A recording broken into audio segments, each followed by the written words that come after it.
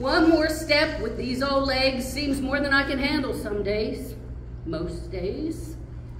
Which way is the best way when I step out today? The path is unclear, the world inspires fear. Someone, anyone, everyone is mad at someone, anyone, everyone.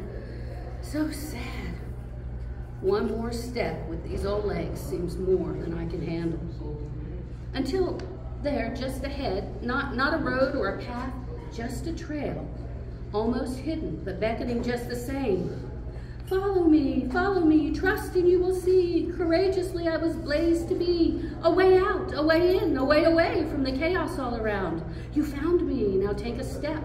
All around me is peace, at least for your soul. Be bold, follow me, follow me. Trust and you will see. The step I took, the step I took was just that piece, the missing piece, soul filling peace. The beckoning trail did not fail its cry. It brought a place of conversation, not accusation, of unity, not dissent. Absent was anger and fear and distrust. Listen, just listen. First listen you must.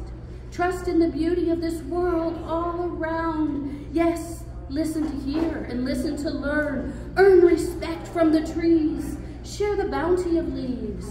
Each a beautiful voice, not a choice to be made.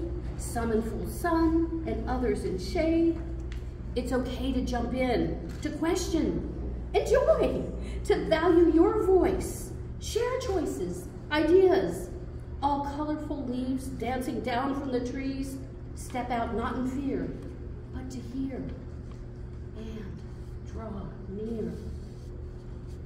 The trail opened its arms as I put down my gear, embracing my questioning ear, roaring in silence sounds of woody expanse, which, by chance, made the trees dance.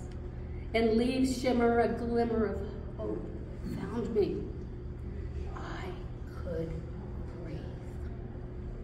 And the trail whispered to me, can't you see, can't you see, you found my path.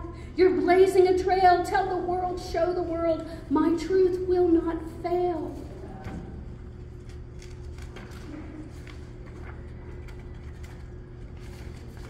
If trees can dance, yes, we have a chance to see something new, to be something new again. I'm ready to dance. How about you? All right.